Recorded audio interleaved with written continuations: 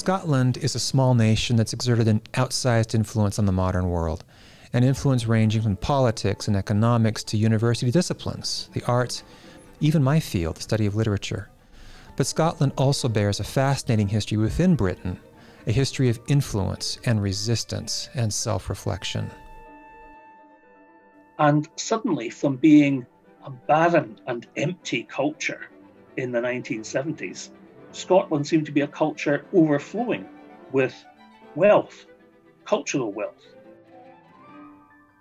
Our guest today is Professor Cairns Craig, the Glucksman Chair of Irish and Scottish Studies at the University of Aberdeen. Over a long and distinguished career, Professor Craig has written widely about Scottish literature, culture, and history. He's the author, most recently, of The Wealth of the Nation Scotland, Culture, and Independence, published in 2018 by Edinburgh University Press. Professor Craig talked with us about what Scotland's rich history can teach us about the modern world and about the role of the arts in forming our identities, culturally and even nationally. I'm Matthew Wickman, chair of the Humanities Center and host of this podcast, and now our conversation with Professor Craig.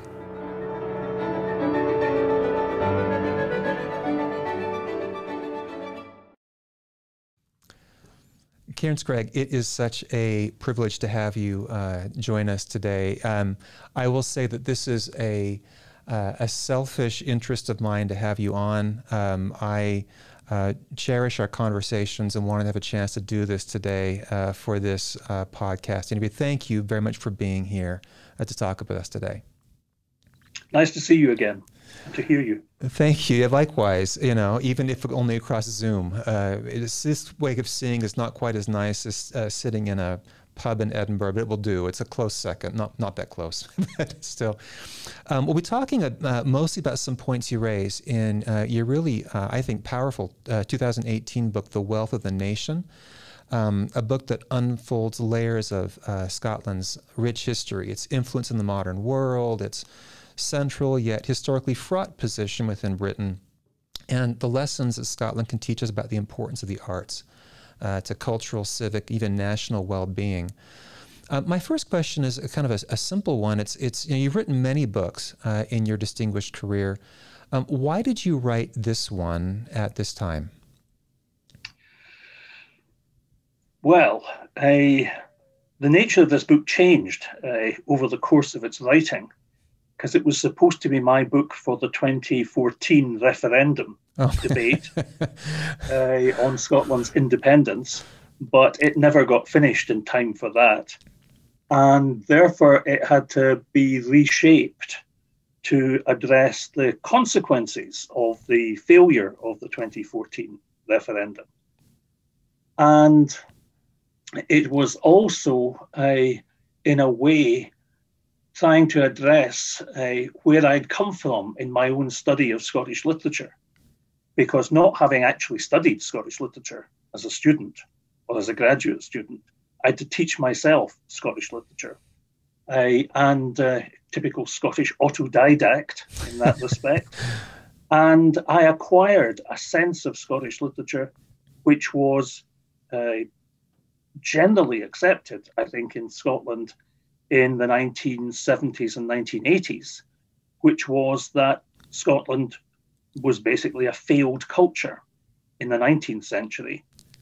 And then when people discovered the Scottish Enlightenment, that Scotland had had a great intellectual past, but it was all downhill from 1746 onwards. And so this book was really an attempt to rethink what the wealth of the nation has been since the Enlightenment through to the current political state of Scotland, and to try to give a positive account of what had been achieved in Scottish culture in that period, when mostly it is treated as second rate, insignificant, irrelevant to our understanding of uh, either modern Britain or the modern world in general. That is a uh, a history, a set of stories, uh, intellectual history, cultural history, literary history that you tell, I think, so well. Um, and have over many books and articles uh, in your career. And, and I think this book in particular, The Wealth of the Nation, uh, is, is just an outstanding uh, illustration of that kind of history. Um, let, I, I want to ask you in a minute about, about why you had not studied Scottish literature, where that whole idea of national failure was playing into uh, you know sort of cultural life in the 1970s, et cetera. But I wonder if we can begin by talking about the the Scottish Enlightenment. And I've got a question in a moment that will sound like a trick question. You'll know exactly where I'm going with it. Uh, to set up the question, might be able to remind listeners, right, that uh, the Enlightenment's typically taken to represent achievements enabled by an expanded use of reason during the 18th century. Uh, so that you find new developments in modern science, civil society, economics, politics, uh, disciplinary specialization, universities, etc. Scotland, as you point out, has a really rich Enlightenment tradition. Um, uh, and your, in your book, in fact, The Wealth of the Nation, uh, alludes to Adam Smith's seminal 1776 economic treatise, The Wealth of Nations. Um, and Smith is one of the most, well, one of the many important figures we associate with the Scottish Enlightenment. Here's my uh, so called trick question, okay? Um, Cairns, where was the Scottish Enlightenment? well, if if you had been uh, following discussion of the Scottish Enlightenment in the 1960s and early 1970s, uh, it was only in Edinburgh or close by to Edinburgh that the Scottish Enlightenment was basically David Hume when he was in Edinburgh, though a lot of the time, of course, he wasn't, and Adam Smith, who was in Kirkcaldy but visiting Edinburgh uh, on a fairly regular basis and that uh, there were only two important figures in the Scottish Enlightenment Smith and Hume. Hume and Smith, depending which way round you want to place their importance. And uh, nothing else counted as the Scottish Enlightenment. And what happened in the 1980s was that people began to discover that there were uh, not just there was not just an Edinburgh Enlightenment, there was a Glasgow Enlightenment, there was an Aberdeen Enlightenment, there was an Enlightenment that ran through all of the improving estates across the lowlands and the highlands. And there was an enlightenment that was led by those who were considered to be the anti enlightened, who were the ministers of the Church of Scotland. Uh, mostly the moderates could be incorporated easily, but lots of the ones who weren't so moderate couldn't be incorporated easily into the notion of the Enlightenment. And so the Scottish Enlightenment is really uh, a way in which a certain group of historians tried to figure Scotland as part of a European uh, story of enlightenment and, as you say, of rationality. But in fact, neither Hume nor Smith believed in rationality or in any of the major features that are generally attributed to the Enlightenment. In fact, for Hume, uh, it's the passions that are important, and it's the study of the passions that the philosopher and the historian have to be engaged with, because reason will not explain anything. It, it totally fails. And for Smith, too, he ends up in his uh, account of uh, astronomy saying that however powerful Newton's uh, theories are, we have to remember they're just imagination. Yeah. And that all the supposed truths of science are imaginary constructions, which we take to be real, but which in fact are fictions. And so both Smith and Hume challenge what is con- usually considered to be a central element in the European Enlightenment, the, uh, the centrality of rationality. Which is such a fascinating point, I think, about the Scottish Enlightenment. And because, you know, in a schematic history, right, when we kind of tell the simple version of, of kind of the progress of ideas, you kind of move from rationality in the Enlightenment to discussions of the passions, the emotions, imagination, with the Romantic period in the at the end of the 18th century and into the 19th century. But as you point out, those were passions, imagination, et cetera, central to the study of the Enlightenment. Well, to study in Scotland uh, from very early on in the 18th century, um, which is which is I think, a really interesting uh, feature of the Enlightenment. It begins in Scotland by talking about precisely those things that supposedly didn't happen until after the Enlightenment. So, so I guess I could have asked you the question, when was the Scottish Enlightenment? And the answer is before other Enlightenments or in a strange relation to them. One point you make in the book. Well, also, I, the question. Yes. If I can just interrupt, Matt. No, yes. The question here is how uh, badly Scotland fits into our normal model of how the 18th century turns into the 19th century. Because the assumption is you have an enlightenment and it's followed by romanticism. And that Scotland, as it were, jettisons enlightenment in order to become a romantic nation. But of course, the great romantic text, uh, Macpherson's Ossian, yeah. is published in 1760 alongside the works, major works of the Enlightenment thinkers. And indeed, Macpherson was sent to the Highlands to find this material by a group of Edinburgh literati. So Romanticism is actually side by side with or within uh, Enlightenment in Scotland rather than something which uh, Enlightenment precedes and is, and is obliterated by.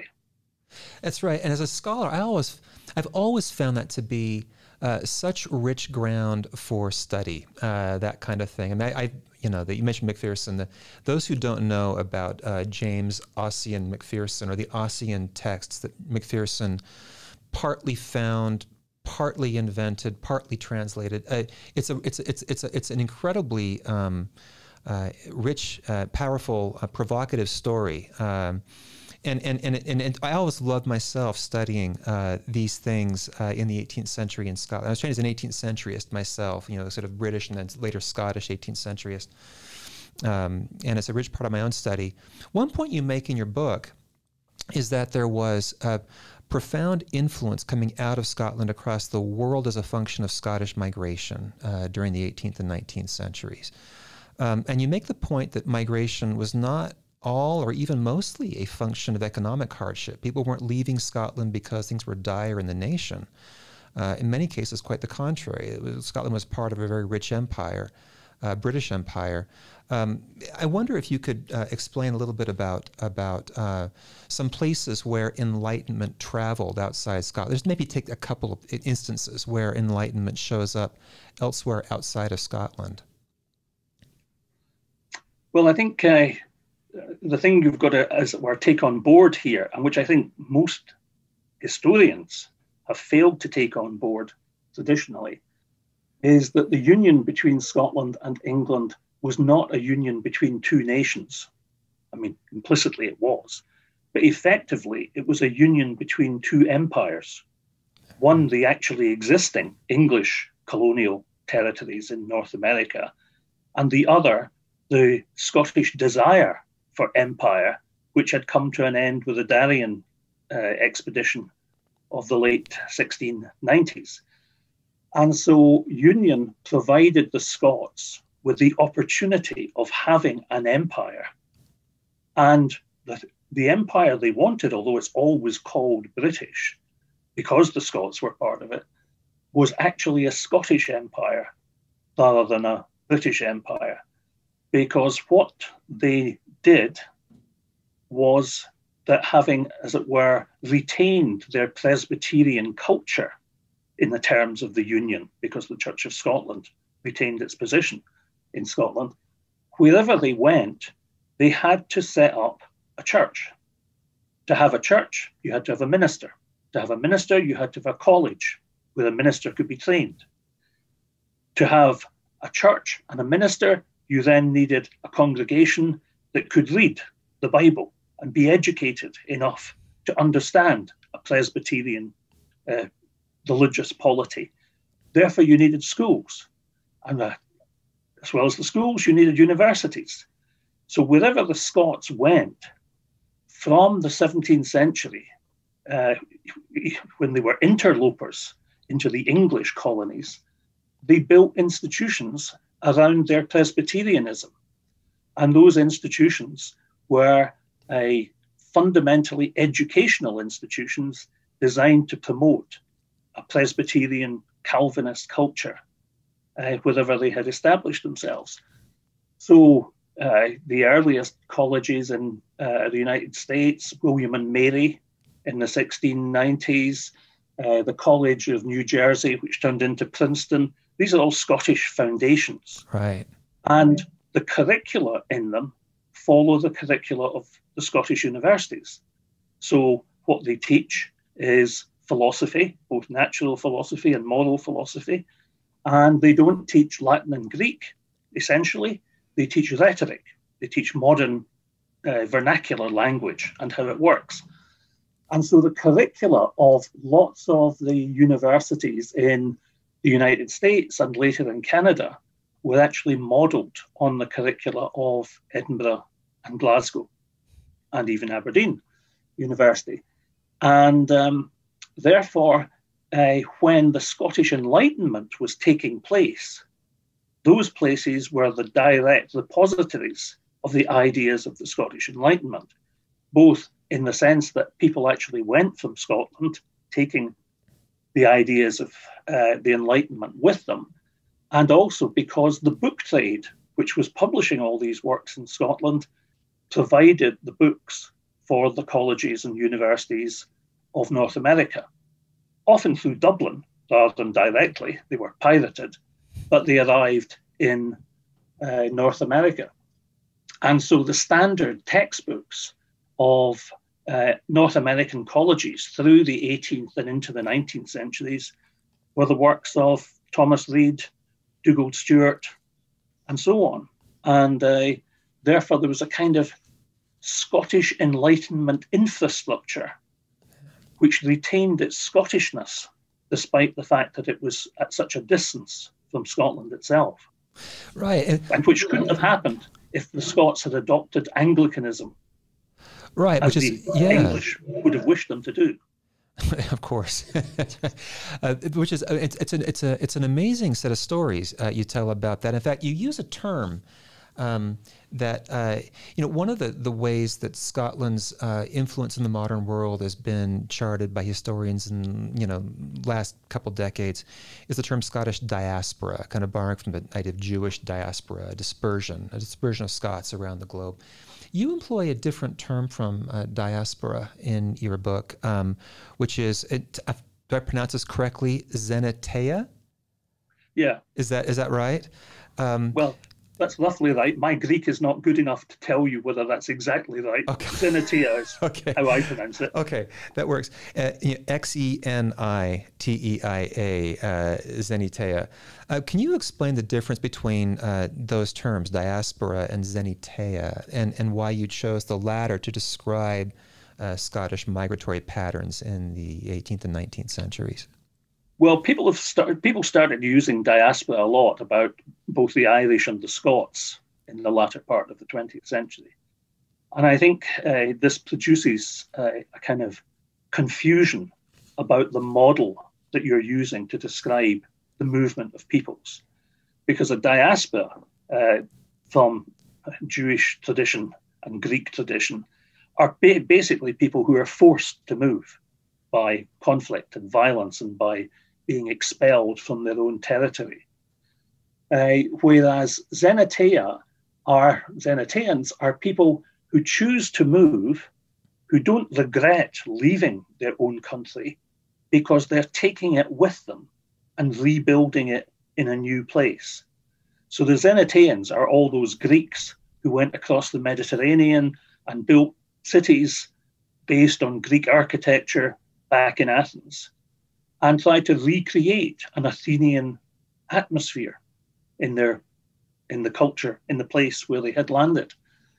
And so Xeniteans are uh, people who do not suffer from the sense of being victims in the way that diaspora uh, people do. They are people who go, as it were, with confidence that they take values with them that they can re-establish, and that those re-established values will create a context in which their own their previous culture can flourish again.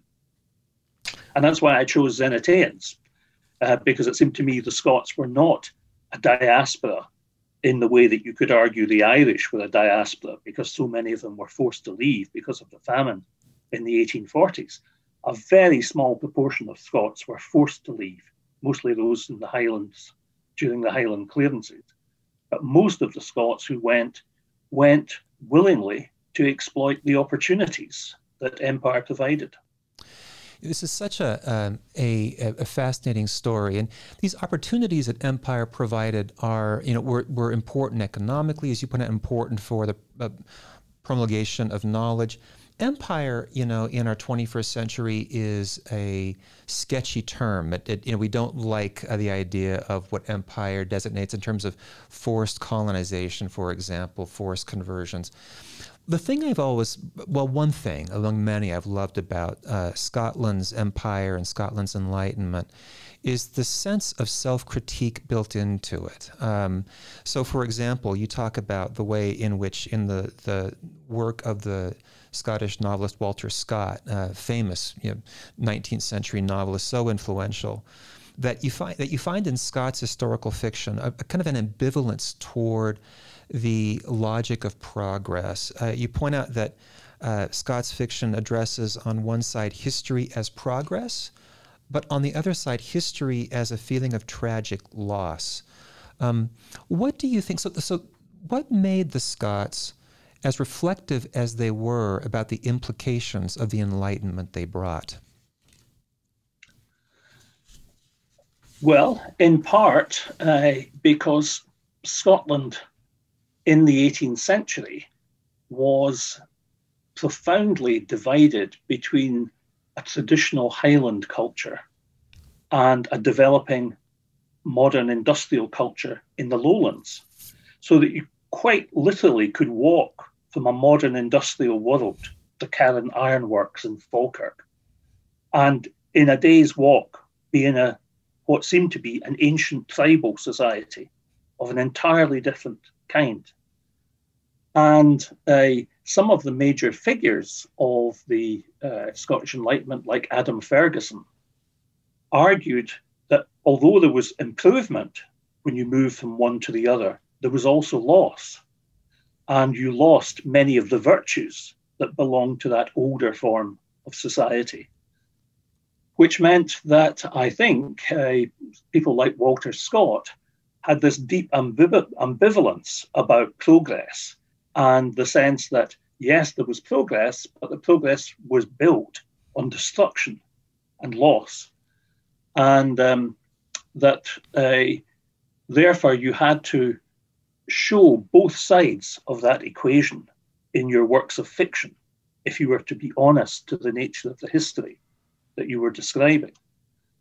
And uh, it used to be, I think, that Walter Scott was uh, interpreted as being a, an old Tory who only liked the past.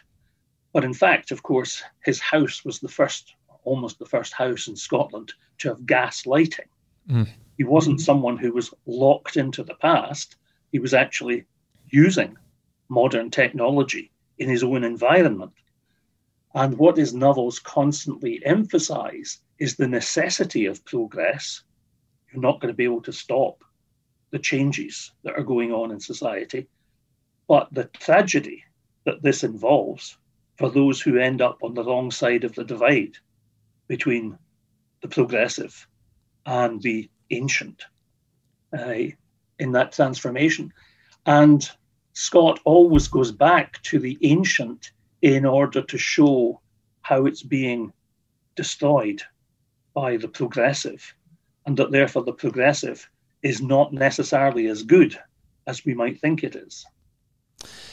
It's a, it's, it's, the, your book is filled with these kinds of stories and nuances. Um, it's, it's a, a, a fascinating uh, account that you give of all of this.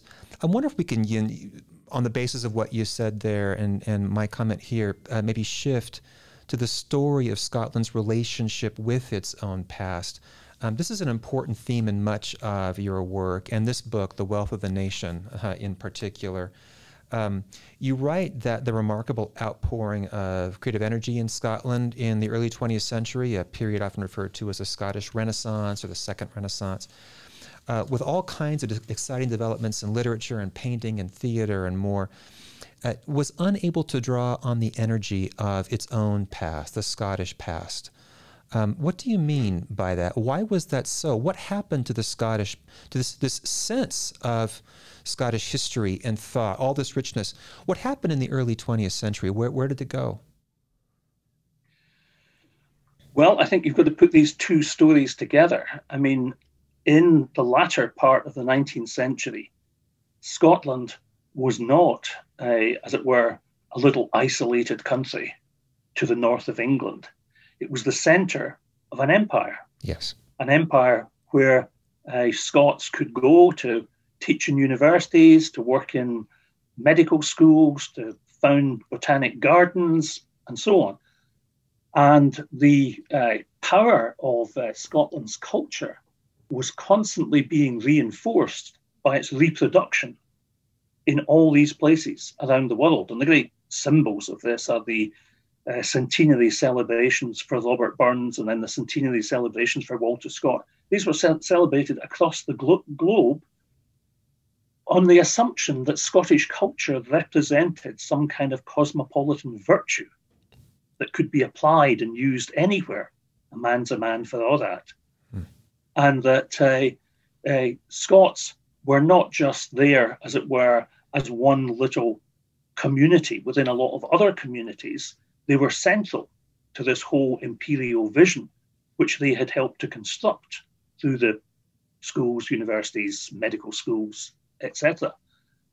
And therefore, in by 1910, 1912, there was this huge sense of a Scottish imperial mission which involved quite literally a mission, a Christian mission, that reached out across the whole world and that made Scotland and its religion enormously indep- uh, important in places like India and Korea, uh, as well as in the settler colonies of Australia and New Zealand and so on.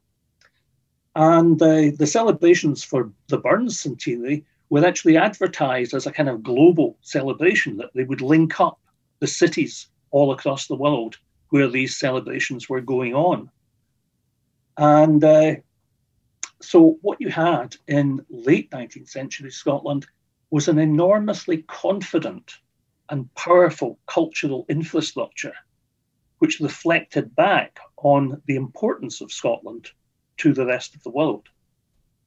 Now, uh, the, that Scottish Empire collapses a lot more quickly than the British Empire did, because partly because of its very success in founding all these various institutions uh, in the in the imperial territories, because the First World War provides places like Canada and Australia and New Zealand with their own sense of their independent national identity and their sense of no longer being uh, tied to the British Empire in the way that they had been. And therefore, you get this interesting transition where uh, Scottish intellectuals who move at the, in the period after the First World War move taking with them Scottish cultural values, but they become the founders of national uh, cultural formations hmm. in the territories to move, they move to. So John Anderson goes from Edinburgh to Sydney and takes with him the idealist stroke realist philosophy that had been developing in Edinburgh. But he turns it into an Australian philosophy and it becomes an independent Australian entity. Robert Morrison MacIver goes to Toronto and then moves from Toronto to Columbia.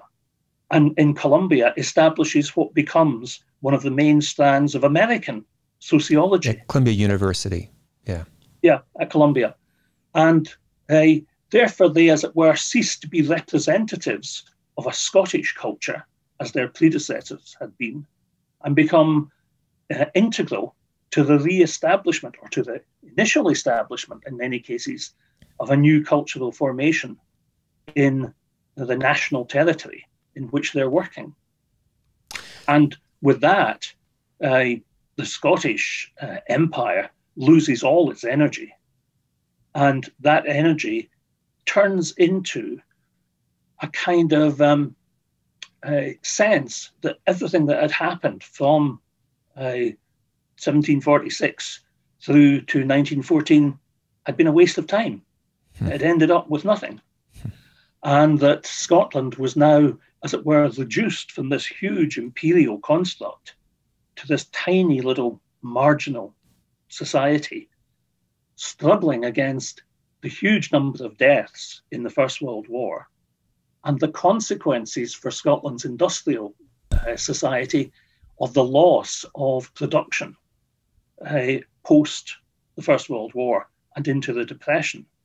And therefore, it becomes a very fragmentary and uh, self alienated kind of society. I think is what I suggested. Yeah, it, it, it, and and yeah, and I find that persuasive in the book. And it's actually this takes us, I think, to uh, maybe talk about what you've seen over the span of your career. You mentioned you didn't study Scottish literature when you were a, an undergraduate student or a postgraduate student. Um, but you certainly have taught a lot of it uh, as a professor um, at Edinburgh and now at Aberdeen uh, University. Um, maybe we could talk about uh, just four key dates and their significance and what you've seen kind of change uh, in Scotland's understanding of its own uh, history in the space of your career. These dates, 1979. Uh, and then 1997, right? Those are such different things, right? And then 2014 and 2016, again, another wrinkle in there. Um, so the shift from 1979, uh, the failed devolution referendum, to 1997, the successful one. Uh, what happened? I mean, that's 18 years. That's not a long time, Cairns, but but, but that's a pretty big Felt change. like a long time at the time. Yeah, I'll bet it did. I'll bet it did. But a massive change occurred there. What happened? Well, uh, this is where we we have to be careful. The 79 uh, referendum was not failed. It was it succeeded. It was 52-48 in favour of yeah, good point. Scottish Assembly. Yes. It only failed because the Westminster government insisted that there had to be a 60% vote in favour right. before it would go ahead. And uh, they were using a, a, a, an electoral roll that was five years out of date. And no one could ever have got 60% because all the dead people voted no effectively. That's right. so, um, but the, the question I think uh, uh, that 1979 posed was why did so many people choose not to vote at all?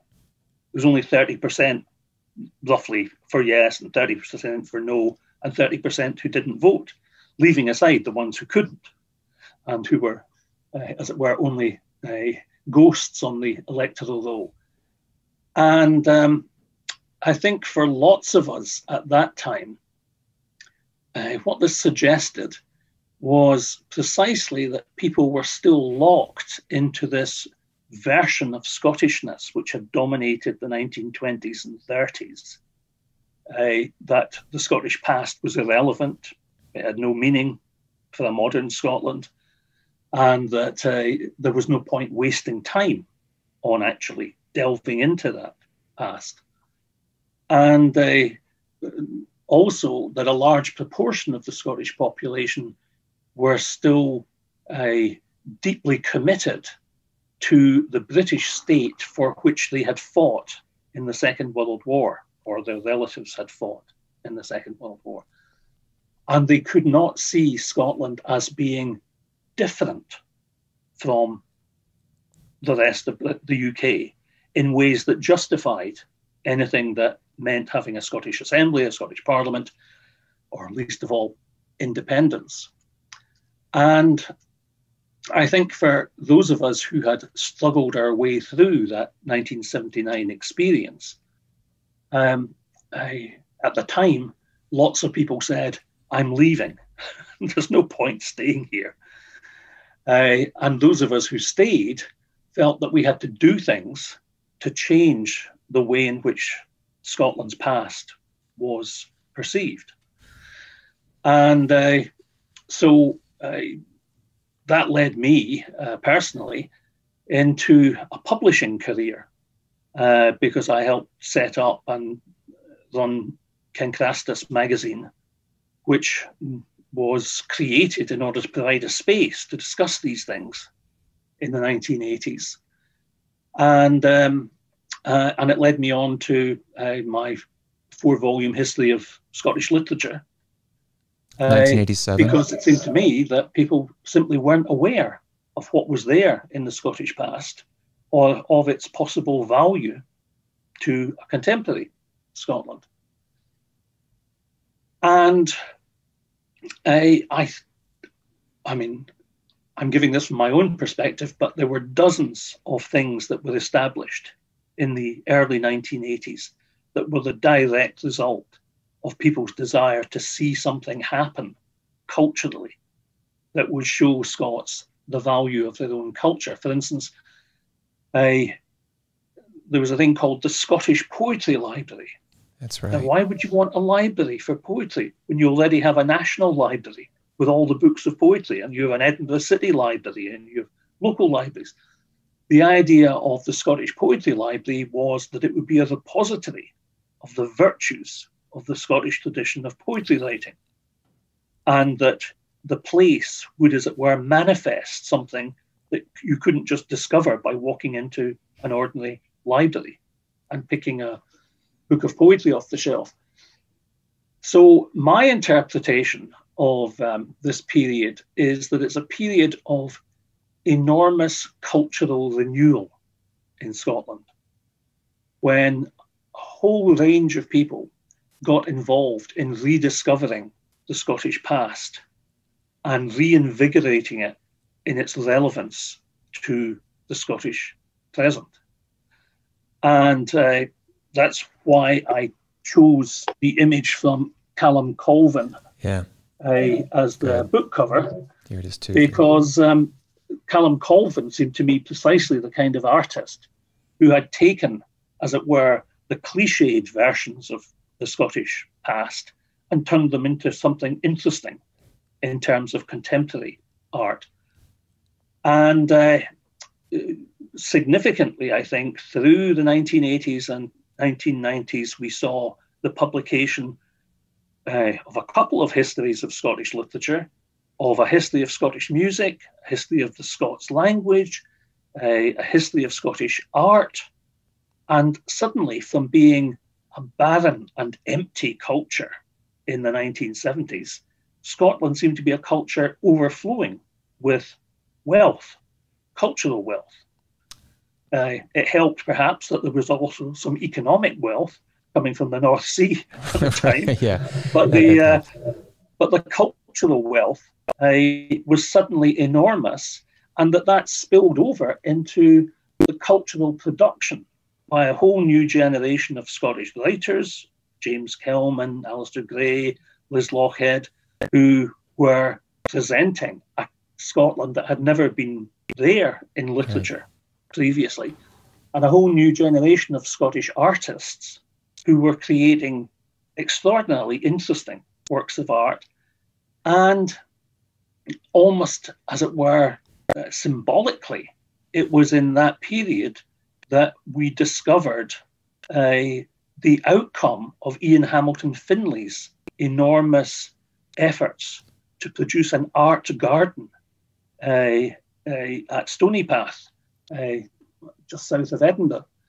And that became, as it were, a symbol of how you could take an apparently barren landscape that had only been used for sheep uh, for 250 years and turn it into a place that was both uh, artistically interesting, but also uh, beautiful in terms of its use of the natural world.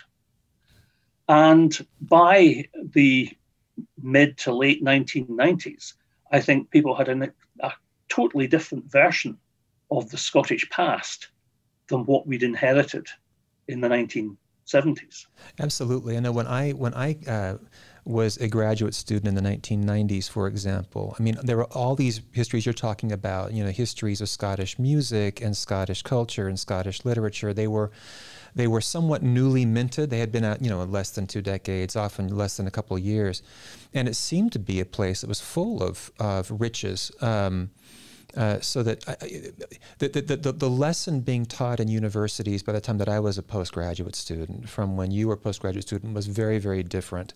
Um, and you make a point, uh, we have about, I don't know, maybe three, four minutes left, um, that, uh, that if, if politics in Scotland had failed or occasionally failed, uh, artists, poets, writers felt that art must take its place. And um, I wonder if that's a lesson uh, that you think, the importance of the arts to a sense of a country's political and economic and national uh, identity or its political well-being, uh, economic well-being. Is that a lesson that's generalizable to other places in Scotland? Is that a version, you know, of, of uh, a Scottish uh, influence in the modern world, or is it really particular to Scotland, given things that are unique to that country? That there could be such a, uh, a crossover between the riches, the wealth of a nation culturally, to manifestations politically? Well, this is a point that I've made, but which has been disputed by various people who say, you know, the Scottish Parliament actually happened because of politics, not because of culture.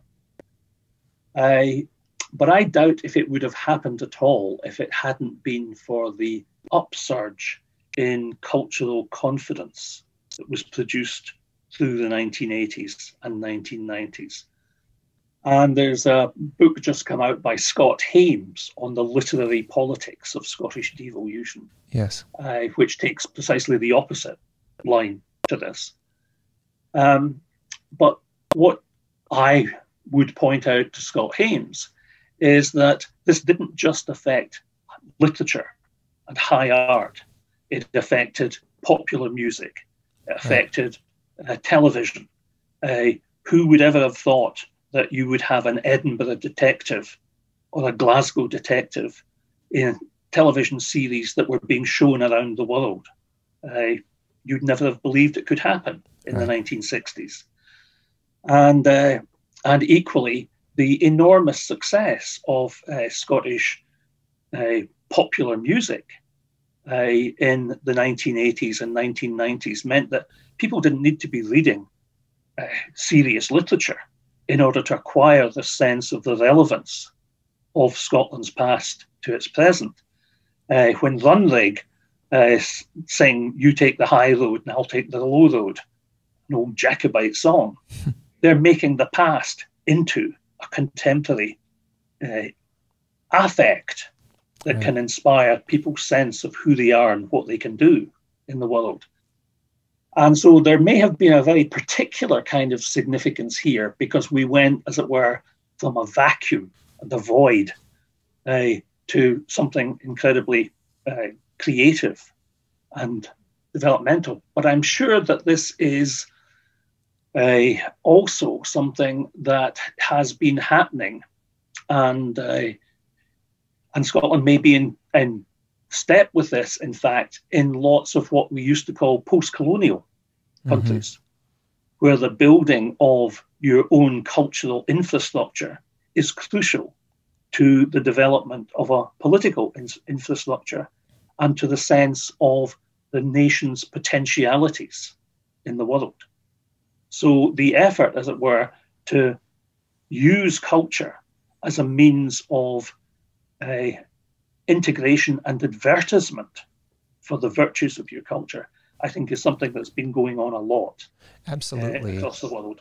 I, I agree with that. I, I, I think, for example, that the impact of, in, in, in America, for example, the impact of novelists like Toni Morrison on um, perceptions of uh, racial injustice, for example, uh, have been, I mean, so manifestly uh, evident uh, that I, I, I, like your argument that um, that that culture has influenced politics. I will say I, I, I, like Scott Hames very much. He and I were at an MLA conference uh, uh, where Liz Lochhead uh, was talking. And she talked about 1979, and she hadn't thought much about. She was younger and hadn't thought much about politics. But uh, then, when the when the referendum did not pass, she thought afterwards, well, why didn't I think more about that? Why didn't I? What was wrong with me? And and and so she began giving a lot more energy to that topic in her poetry, which of course impacted you know other people and how they thought about it too. So I think that her story, for example, would be one where it was very clearly the case, and and she's been very influential, not just in other writers in Scotland, but on the public. She's very much a poet uh, for the public. Cairns, it is such a privilege to talk to you. Uh, I, I, you've been such an enormous influence on my own uh, work, my own thinking as a scholar. Um, I have immense admiration for you, uh, for what you've done um, and, and I'm very grateful uh, that you took time uh, to talk uh, to me today on this podcast. I wish you continued success. Uh, for whatever your current projects are. Uh, I will read them with great interest. And hopefully, once the pandemic is over, I can see you again in more hospitable surroundings, i.e., someplace in Edinburgh or Aberdeen. That would be lovely. Nice to have talked to you. Thanks, Cairns. Hope we can see you soon. Look forward to it. Take care.